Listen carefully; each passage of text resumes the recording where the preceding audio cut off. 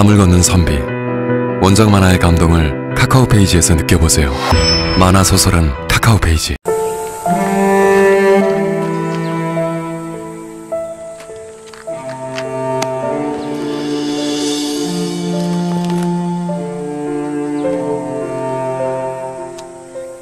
이에서 뭐라는 것이냐? 죽기라도 할 참이었느냐? 어찌 살아야 할지 모르겠습니다. 왜 살아야 할지.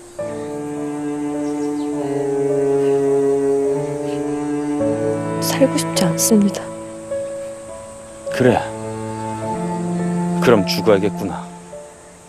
알았다. 내 네가 죽을 자리로 데려다 주마.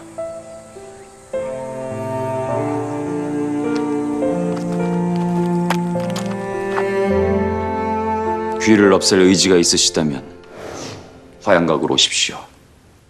그때 이 비망록을 드리겠습니다. 이 새 궁이 맞설 본거지가 될 것이다. 이제 슬슬 양해를 준비해야 할 텐데 아니 그러하오 세손이 환궁을 한 지 얼마 되지 않소.